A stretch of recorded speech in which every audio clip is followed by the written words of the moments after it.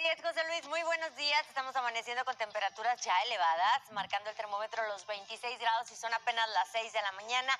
Recuerde que hoy la máxima llegará hasta los 38 grados a la sombra. Al momento de nosotros exponernos a los rayos solares, por supuesto que la temperatura será aún más elevada. Hay que evitar en medida de lo posible exponernos a los rayos solares entre las 12 del mediodía y las 4 de la tarde, que es cuando más intenso se sentirá el calor.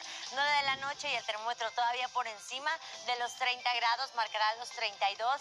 Hay escasa nubosidad. Durante toda esta semana no se esperan precipitaciones, incluso tendremos presencia de nubosidad entre miércoles, jueves y viernes, pero sin pronóstico de lluvia. Lo que sí se espera es un calor intenso, porque vea, enfoquémonos en las temperaturas máximas, estarán alcanzando valores de 40 o por por encima de los 40 grados. Ya lo sabe, las recomendaciones que hay que tomar, hay que aplicarnos bloqueador solar, tomar abundantes líquidos, mantenernos bien hidratados, cuidar a los pequeños, a los adultos mayores de estas altas temperaturas y también eh, a cuidar a las mascotas porque ellas también resienten estas altas temperaturas, a mantenerlos bajo las sombras, a las mascotas en estos próximos días, valores de 40 hasta 41 grados, nulo pronóstico de precipitación y las mínimas al amanecer entre 24 y 25 grados. Estos son los detalles que le tengo al momento, pero ya lo sabe que en media hora volveré con el reporte completo del pronóstico del tiempo. Muy buenos días.